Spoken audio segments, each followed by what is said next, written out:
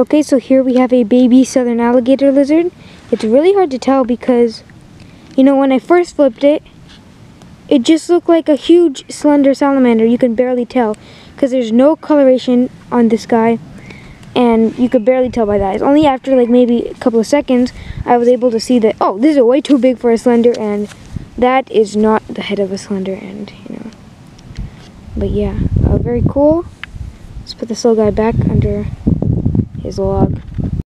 So this is a Jerusalem cricket, and uh, they're non-venomous, but they do have really big pinchers that will bite.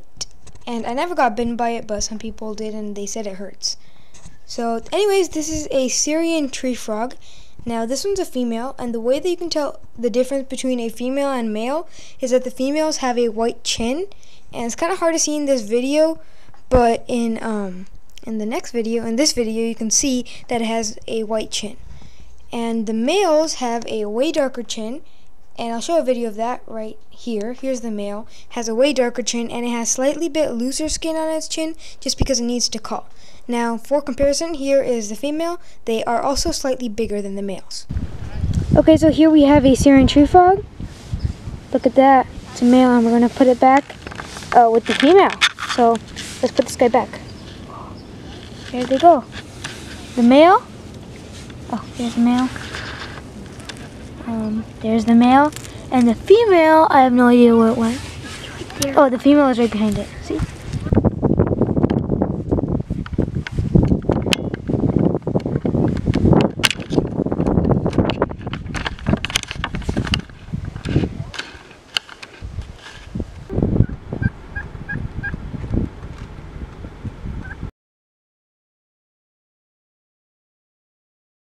Okay, here is a sharp-tailed snake, a very common backyard snake that you might find in your backyard here in the Bay Area.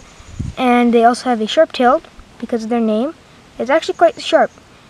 There's another species called the forest sharp-tailed snake, which is a little bit more duller in coloration and found in the forest, whereas this has a more red coloration.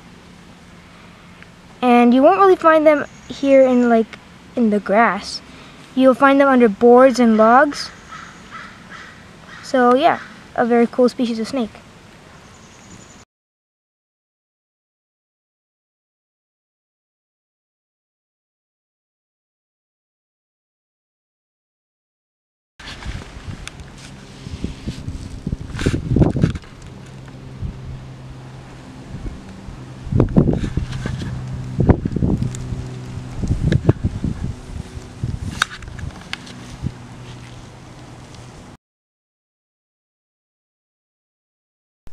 Okay, so these are California newt eggs, and they are have they have white larvae, as you can see, and they're in small clumps that will be stuck to either like branches, trees, and this difference this is like different from frog eggs because they're in more bigger clumps and they have black larvae.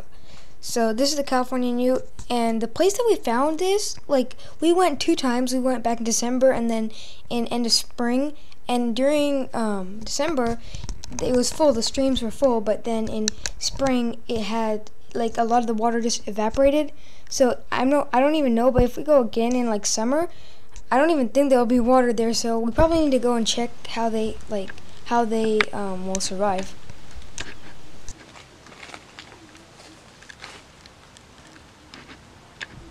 Okay, guys. So look at this.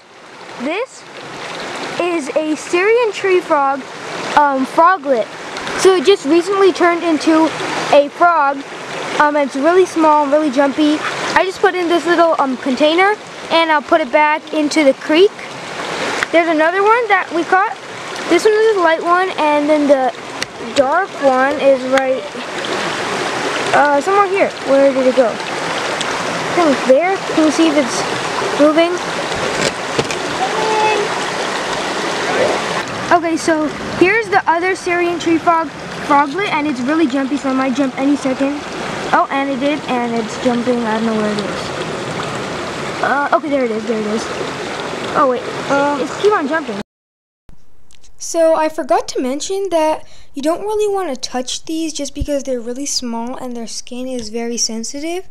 And for all amphibians, whenever you're holding them, you want to make sure that you have no chemicals on your hands, like um, sunscreen, um, bug spray, lotion. Uh, what else? I think yeah, anything like that. Just because their skin, again, is very sensitive. Now, this would be an ideal place to find a froglet, just because it has lots of algae. There's not much moving water, and lots of um, plants. So if you want to find any like tadpoles, froglets, streams like this would be ideal. Okay, here we have a, um, a little frog. Think this is a yellow foothill frog. Uh, yeah, it's definitely not an American bullfrog. So it was just down in this little creek down here, nearby a parking lot. And hopefully we can find some more animals in this little creek. So far we found a really cool frog.